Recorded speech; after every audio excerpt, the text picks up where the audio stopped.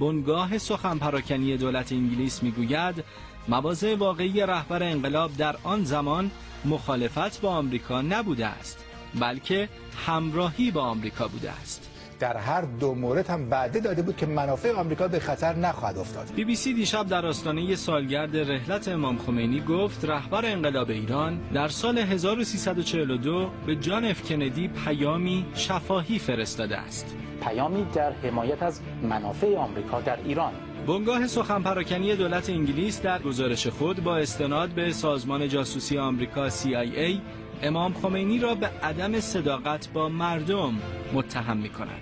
سیر مبارزات بنیانگذار جمهوری اسلامی ناگفته های غریبی دارد تماس های پشت پرده، وعده های توخالی، دوستی های مسلحتی با دو رئیس جمهوری دموکرات آمریکا واقعیات تاریخی درباره ادعای بی بی سی مبنی بر صداقت نداشتن امام چه قضاوتی دارند؟ امام به شدت با مردمش صادقه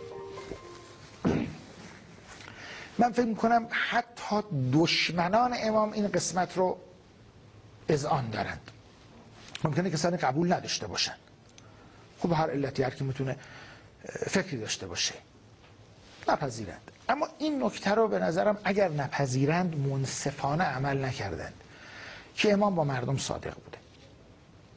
این پیوند صادقانه مردم و امام بوده که امام رو تبدیل به یک کسی کرده که براش شون می‌دادن. بی بی سی البته ادعاهای دیگری هم دارد.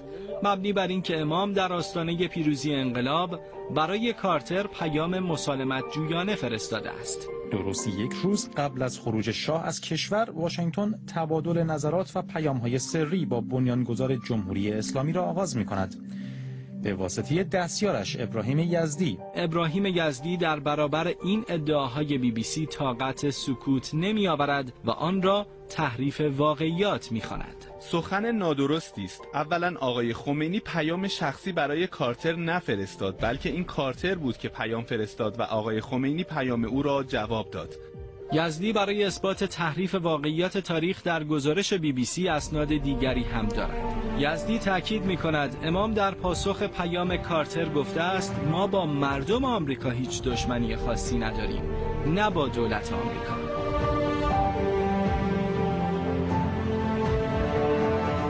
حالا با این توصیف به نظر شما هدف بی بی سی از تلاش برای سازشکار جلوه دادن امام چیست؟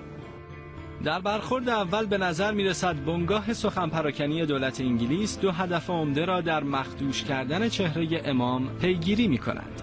یک صادق نبودن امام با مردم و دو قاطع نبودن امام و عملکرد ایشان برای جلب رضایت آمریکایی ها آیا بنگاه سخن پراکنی دولت انگلیس با استناد به سازمان جاسوسی آمریکا می تواند با تحریف و پرده پوشی واقعیات سالهای 42 تا 68 امام خمینی را در افکار عمومی غیر صادق با مردم و دولت و همراه با آمریکا جلوه دهد و یا اینکه انگلیسی ها برخلاف پیچیدگی مرموز همیشگیشان دیشب اصطلاحا از کوره در رفتند و ناخداگاه خشم و کینه ضد خمینی خود را آشکار کردند. پاسخ این سوالات بر عهده شماست اما هرچه باشد واقعیات تاریخ را نمی‌توان تکذیب و تحریف کرد. کتابی نوشت و به کتاب خدا اهانت کرد. سی سال بعد توصیه این مجری شبکه انگلیسی شاید برملا کننده راز آیاتی شیطانی باشد. کارشناسان باید مواظب باشن که تبلیغات منفیشون خیلی مسئول نباشه. اگه مثل چاقو بخواد حریف رو قطع قطع بکنه شاید نتیجه عکس بده. تبلیغات منفی باید مثل تارک باشه. آروم آروم پوست حریف رو بکنه. هرچند آرام آرام از آن روز به بعد در گوشه و کناری گاهی قلمی سعی کرد مقدسات را کاریکاتور کند.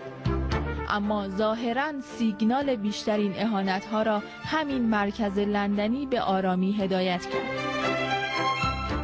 انگلیسی که طی سی و اندی سال سلمان رشدی را تحت الحفظ تا کنون زنده نگه داشته مدل های جدیدی از این شخص را سعی کرده در این سالها به روز کند. البته با مهره های آشنا. در مورد قرآن استناد بنده. یک بار اکبر گنجی به میز قبه زدایی شبکه لندنی می آید شما در واقع به این نتیجه رسیدین که قرآن کلام خدا نیست و معتقدید که زاییده ذهن بشره و امام دوازدهم هم اصولا وجود نداره.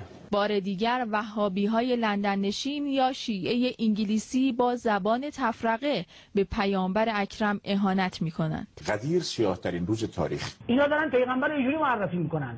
اول معرفی کردن تو خونه پیغمبر رقاصه بوده و ساز و آواز و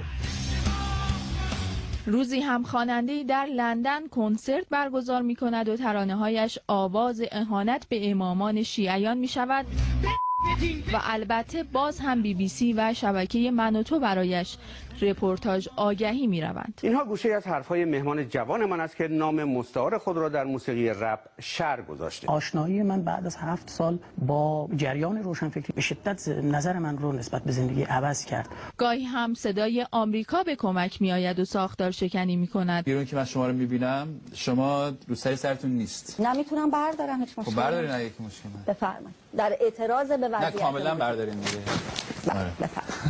تا سلسلهش در لندن علنی آزادی های یواشکی ترویج کند. اعتراض به حجاب اجباری زیر چتر آزادی های یواشکی چقدر جدی است؟ آیا می شود به یک حرکت مدنی فراگیر تبدیل شود؟ آروم آروم پوست حریف رو بکنه.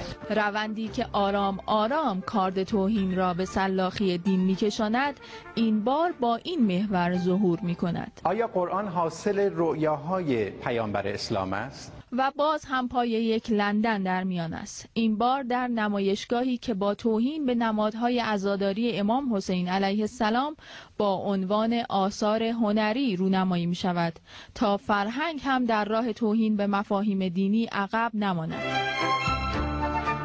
و گام آخر را این روزها یک فعال فمینیست فراری از ایران برمیدارد. شادی سطح برنامه ما رو همراهی خواهند کرد آثاری از قوب شکنی های انگلیسی که گاهی در داخل کشور هم رد پایی از فرقه های زاله را نمایان می کند آیا میان این اتفاقات رابطه ای وجود دارد؟ راز این قوب شکنی های انگلیسی